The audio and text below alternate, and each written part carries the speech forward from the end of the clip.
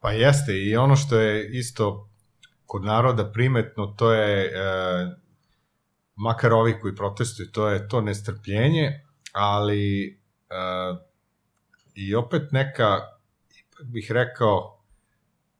jedna vrsta, da kažemo, pasivnosti. Jesu oni izašli na ulice i ostalo, ali nekako te neke reči, evo, koje, baš sam, gledao sam ovaj, e,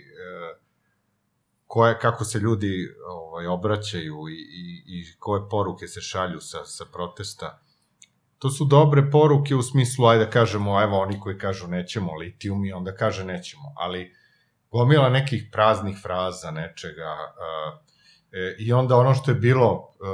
čak sam video neki, neko da je delio na mrežama, nešto tipa ponesite, ne znam, potrepštine za nekoliko dana i tako dalje. Toga ničega nije bilo, a uh, odavde, dakle, uh, iz Beograda se najavljivalo da, da dolaze ljudi iz cele Srbije s namerom, ne znam, da i da izvrše ubistvo predsednika i da dolaze da, da, da izvedu Majdan, da će oni da postave šatore negde, da će da napadaju policiju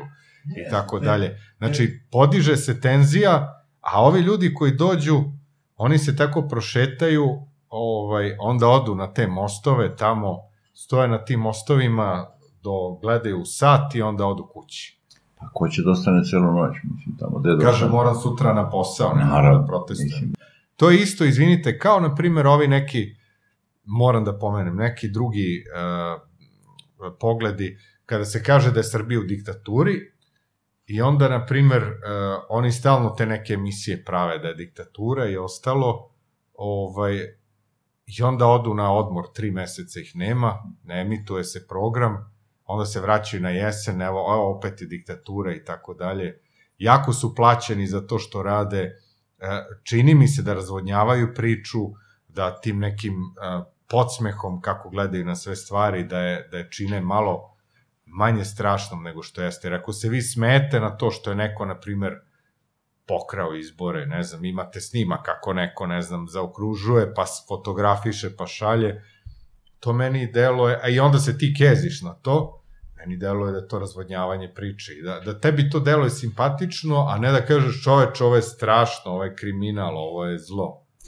Pa vidi ovako, znači, to je po mom mišljenju već sad oproban recept i svi su zaboravili onaj čuveni miting Đilas, Boško Bradović, dođite u Beograd, danas pada diktator. Seć toga. Da. I došlo 60.000 ljudi, oni održali govori, otišli u kafanu na ručak. I onda ovi što su došli osjećaju se ko magarci. I to je onda ti posle par, ja sam bio od 80 neke godine pa do sad na skoro svim tim protestima, mitinzima i tako dalje protiv vlasti. Jedno vreme sam čak i ja prestao da ide, znaš, mislim, zato što znaš scenariju. Znači, scenarija će biti, vlast viče, bit će državni udar, ovi viču, danas je dan D,